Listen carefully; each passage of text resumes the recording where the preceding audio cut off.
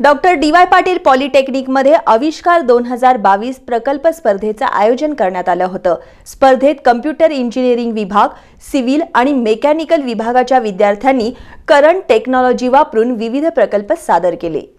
सध्याचं जग हे माहिती आणि तंत्रज्ञानाचं जग आहे. प्रत्येक गोष्टीचं उत्तर आपल्याला या तंत्रज्ञानाच्या माध्यमातून मिळतं.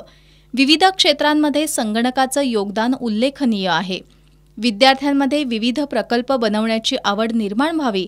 यासाठी डॉक्टर डी. वाय. पाटील पॉलिटेक्निकमध्ये आविष्कार दोन हजार बावीस प्रोजेक्ट कॉम्पिटिशनचं आयोजन करण्यात आलं होतं.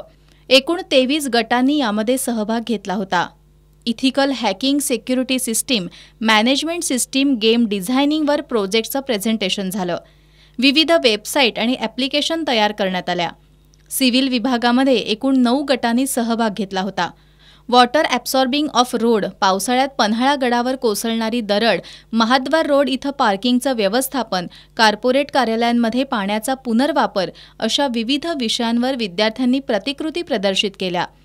सव्वीस जुलै दोन हजार एकोणीस रोजी पन्हाळा इथं झालेल्या भूस्खलनावर उपाय म्हणून सिरास्केप या तंत्रज्ञानाची माहिती या ठिकाणी प्रदर्शित करण्यात आली होती. तसंच महानगरपालिकेच्या पाणीपुरवठा व्यवस्थेतील पाण्याची गळती रोखून त्याद्वारे पाण्याची बचत कशी होऊ शकते हेही प्रात्यक्षिक दाखवण्यात आलं. सिव्हिल विभागाच्या स्पर्धेचं परीक्षण संदीप भातमारे यांनी तर शिवांगी मालविया यांनी समन्वयक म्हणून काम पाहिलं. मेकॅनिकल इंजिनिअरिंग विभागामध्येही चौदा जणांनी सहभाग घेतला होता. शेतीसाठी उपयुक्त औषध फवारणी यंत्र कमीत कमी खर्चामध्ये कशा पद्धतीनं बनवता येईल तसंच पेट्रोल इंजिनचा वापर करून बहुउपयोगी कॉम्प्रेसर कशा पद्धतीनं तयार करण्यात यावा यावर प्रतिकृती सादर झाल्या. या स्पर्धेचं परीक्षण सुनील भांदिगरे यांनी तर प्रसाद महाडिक यांनी समन्वयक म्हणून काम पाहिलं. या आविष्कार प्रकल्प स्पर्धा दोन हजार बावीससाठी प्राचार्य प्राध्यापक महादेव नरके यांनी मार्गदर्शन केलं.